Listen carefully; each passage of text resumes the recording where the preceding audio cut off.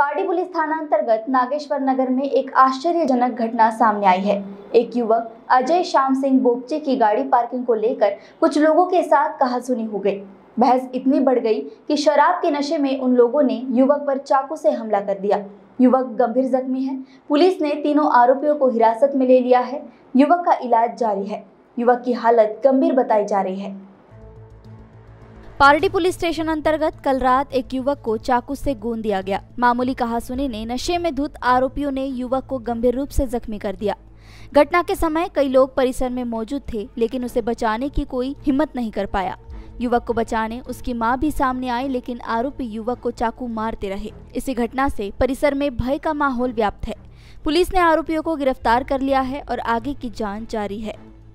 ये ये घटना हुई है मेरे बेटे के साथ हुई है। ये मे, मेरा बेटा छब्बीस साल का है। अजय श्याम सिंह बोपचे। वो ट्रक ड्राइवर। ये हमला हुआ दोस्त की गाड़ी खड़ी थी। दोस्त के साथ बातें हो रही थी दो दो बातें चल रही थी। तीसरा वाला बाजू वाले घर में खाना खाने के लिए आए थे दो जन वहाँ खाना खाने। उनने देखे कि इन दोनों की भन भन चल रही है तो तीसरे ने फ़ायदा उठाया। मेरे लड़के को बहुत मारे चाकू के घाव घाव ये साढ़े दस बजे की घटना है। जब आवाज़ आने लगी मार की तो हम जाके, मैंने जाके देखी, मेरे बेटे को छुड़ाने में रही, दौड़ो दौड़ो, बोली तो कोई नहीं दौड़े। तो मैं बीच में घुसी तो भी छोड़ने को खाली नहीं, मेरे आँखों के सामने मेरे लड़के को चाकू चाकू से मार रहे हैं। ये साढ़े दस बजे की घटना है, पुलिस, हम, जब मेरे लड़का लथपथ खून से हो गया, जब हम उठा के लाए उनके पापा के साथ में तो घर में पुलिस से, पुलिस, यानी आजू बाजू को मालूम हो गया तो वो जो हमारे नगर सेवक हैं, वो आए हमारे घर में उन्हें बोले, ये मर्डर का केस है, पुलिस पुलिस आएगी, जब वही ऑटो में बिठा लेंगे।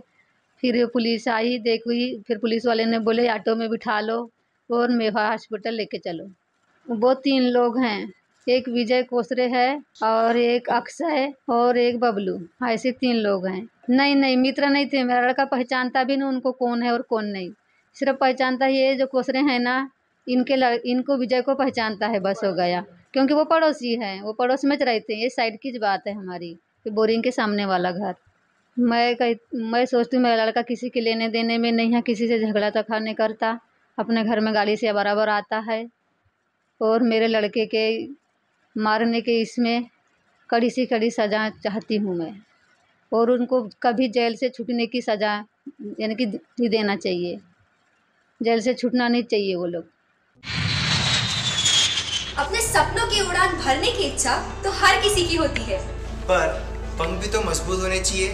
जो देता है flywheel aviation academy flywheel aviation academy एक ऐसा इंस्टीट्यूट है जहाँ पर एयरलाइंस एंड एयरपोर्ट हॉस्पिटैलिटी और टूरिज़्म मैनेजमेंट साथ ही यहाँ campus interview guidance by industry expert practical training at airport expert faculty personal grooming जैसे कई सारे बेनिफिट्स आप पा सकते हैं। Flywheel aviation academy one degree three job opportunities flywheel aviation academy gives you a degree और diploma with a job flywheel aviation academy 365 Gandhinagar LAD college square beside Karnataka bank Nagpur